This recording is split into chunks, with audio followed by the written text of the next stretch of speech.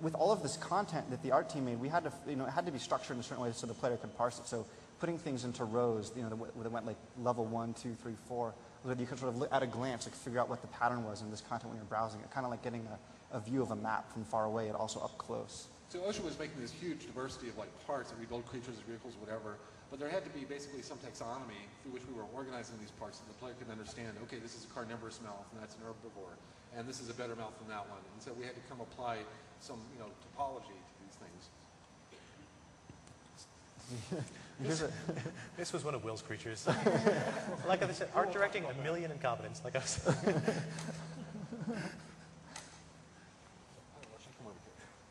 I think one of our um, other challenges with that we've been debating a long time with the editor, it, it, comes down to the editors, is how to make a creature evolve to look intelligent. What, you know, what makes a creature look like something that you are meant to ride on, like, you know, a, a horse, versus um, something that's an intelligent creature.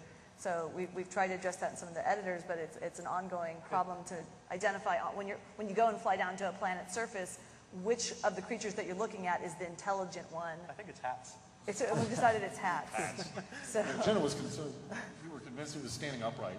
That only bipeds were. I was. I, I, for, a, for a while, I tried to argue that if we um, procedurally moved their head to be the highest thing on their body as we came into the tribe game, then that would be uh, interesting. I, I, lost that battle, but it was my it was my Pluto versus Goofy argument. Like you know, you, you, one of them you identify as a pet, and one of them you know is. It, a, okay. a, peer of Mickey, and how do you, how do you, well, one's wearing clothes. a hat. But, Pluto versus Goofy argument, yeah. Okay, so, so I'm just going to explain what you're seeing so, here. So, so, this, so, this was an early prototype about um, sort of like, you know, thinking about the editors in terms of blocks. You saw like Ocean's prototype about like sort of the morphing blocks, like each one is this magical piece of Lego. And one of the, one of the challenges of designing the editors as toys is figuring out like, well, how do we put intelligence in, this, in the sort of the system that composes them? that sort of that sort of represents what an artist might do. And for almost each one of our editors, we did 2D prototyping, tried to abstract out the problem into three dimensions, you know, but basically solve it in the two-dimensional case first. So here's a here's like an early creature. It's like you know think about you know the creature as being this you know hierarchical structure where you can attach limbs to it, and then they sort of move like these toys.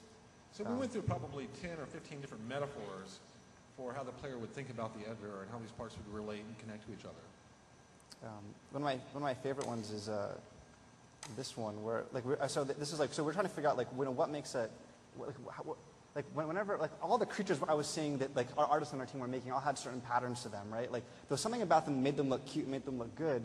And so what I did is spent like a long time trying to talk to one of our character artists, trying to figure out like you know what are the rules that you're using. Like clearly the artist has certain rules in their head that they're using to to to make something, and I was like, you know, I want to find out what those rules are and then make them into a toy that's fun to touch. So when the player comes in, they just have this toy they're playing with, and it's making all this good-looking stuff because the, the toy represents what makes a good creature. So this is an experiment about um, thinking about some of those artist rules for making creature bodies. It turns out that all creature bodies like, that a cartoonist would make are like these bean shapes. Yeah, and usually when you learn to draw a cartoon character, it's like first you draw the circles and you connect them with curves.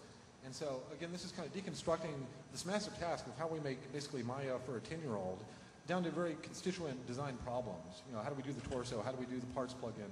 How do we manipulate the camera? And solving those kind of individually. And here's a, another, another like a, one of the biggest challenges was the, you know, 2D versus 3D thing. And actually I had to learn, like I had to like this trial by fire, I had to learn how to do some 3D programming to, uh, to, to, get to this point. But it was like, you know, when a, a mouse is a